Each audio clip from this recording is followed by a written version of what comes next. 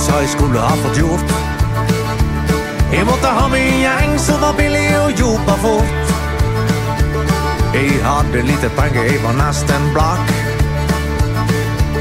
Så i to år leide meg inne på lag. Kurva, kurva. Kurva, kurva. Jeg var flink på betong og mur,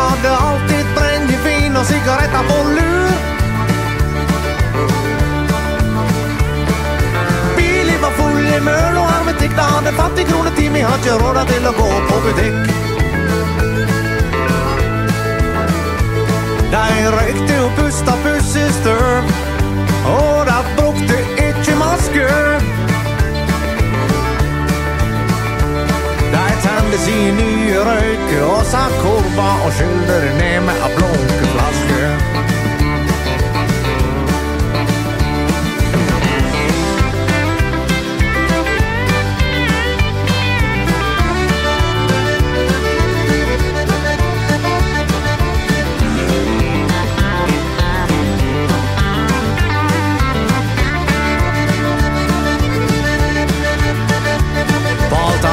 kjerringa og spilte på slurva.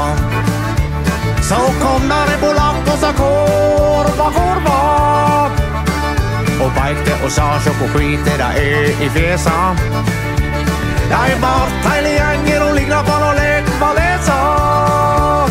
Korva, korva. Korva, korva.